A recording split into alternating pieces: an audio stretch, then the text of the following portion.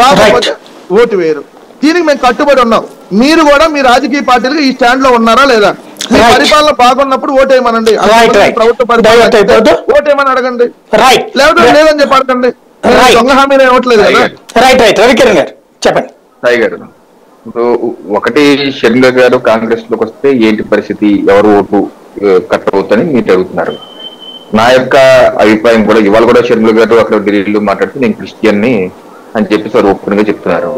వారి భర్త బ్రదర్ అనిల్ కుమార్ సంగతి మనకు తెలుసు. వారు కూడా గతంలో రెండు వేల పంతొమ్మిదిలో కూడా ఈ యొక్క కూటముల్లో కూడా మన క్రిస్టియన్ జగన్మోహన్ రెడ్డి గారు ఆయన ముఖ్యమంత్రి చేయాలని చెప్పి ఆయన కూడా చేసేది వచ్చారు సో ఆ రకమైనటువంటి షర్మిల గారు వస్తే అలా బ్రదర్ అనిల్ కుమార్ ద్వారా వారి కూటముల ద్వారా ఎంతో కొంత డెంట్ చేసే అవకాశం అయితే వైసీపీ పార్టీకి ఉంది. అది ఎంత మేర డెంట్ అవుతుందో ఏంటి అనేది చూడాలి. Number one. నెంబర్ టూ ఎవరైతే ఇప్పుడు ఆల్ రామకృష్ణారెడ్డి లాంటి వాళ్ళు నేను షర్మిల గారితో వెళ్తానంటున్నారు. అలాగే ఇప్పుడు రాయలసీమలో కూడా ఇప్పుడు ఇప్పుడు మా ప్రాంతాలు గోదావరి జిల్లాలో సాయి గారు ఒక నాయకుడి చుట్టూ జనాలు తి- తిరగరు. అతను ఏ పార్టీకి వెళ్తే ఆ పార్టీకి వెళ్తే ప్రజలందరూ అలా ఓట్లు వేసారు కాకపోతే రాయలసీమలో మనం చూస్తే ఏంటంటే వ్యక్తి చుట్టూ రాజకీయం తిరుగుతుంది ఆ వ్యక్తి పార్టీ మారితే మొత్తం ఓవరాల్గా ఆ ఓటు బ్యాంక్ కూడా అటు వెళ్ళటం మనం చూస్తుంటాం. అంటే గ్రూపులు ఉంటాయి ఒక ఫ్యాక్షన్ నేపథ్యం కాదు ఏదైనా కావచ్చు.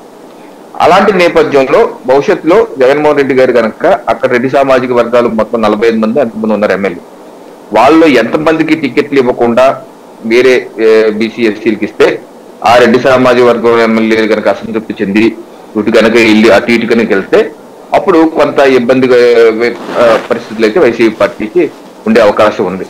ఆ- రెండైతే నేనైతే భావిస్తున్నాను. రైట్ ఇక రెండోది కాంగ్రెస్ ప్లస్ టీడీపీ కలిస్తే ఇది కలిస్తే ఇంకా టీడీపీకి డిజాస్టర్ అవుతుంది నా ఉద్దేశం. ఇది భస్మాసురం వస్తుంది ఆ విషయం చంద్రబాబు నాయుడు గారికి కూడా తెలుసు. ఎందుకంటే తొందరగా ఒప్పుకోకపోతే ఆయన అదే చేస్తాడు అందుకు. తొందరగా ఒప్పు చేయమని కదా మనకు కావాల్సిన చెయ్యి చెయ్యి సంతోషం చెయ్యి చేయాలని కదా మేము కోరుకునేది. వెళ్ళి కాంగ్రెస్తో కలు. రెండు వేల పద్దెనిమిదిలో తెలంగాణ కాంగ్రెస్తో కలిసి పోటీ చేసిన ఆయన ఆరు నెలలు తిరగకుండానే ఇప్పుడు యూపీఏ కూటమిలో ఉండి ఏపీలో ఎందుకు కాంగ్రెస్తో వెళ్ళలేదు? ఎందుకంటే గుణపాఠం నేర్చుకున్నారు కాబట్టి. ఇప్పుడు సో ఇప్పుడు కూడా మరి కాంగ్రెస్కి వెళ్తే వెళ్ళనుకోండి. కొట్టి చాలా వెళ్ళాలి.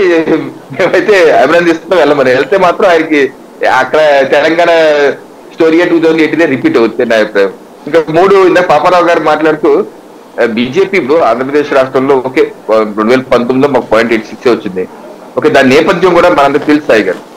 ఆ రోజు చంద్రబాబు నాయుడు గారి మీద వ్యతిరేకత ఏ ఏ రకంగా మోడీ గారిని తిట్టారు ద్వేషించారు ఏ రకంగా దాడులు చేశారని చూశారు కాబట్టి బీజేపీ సాంప్రదాయ ఓటర్ కూడా వెళ్ళి వైసీపీ పార్టీకి ఏ రకంగా వైసీపీని గెలిపించారు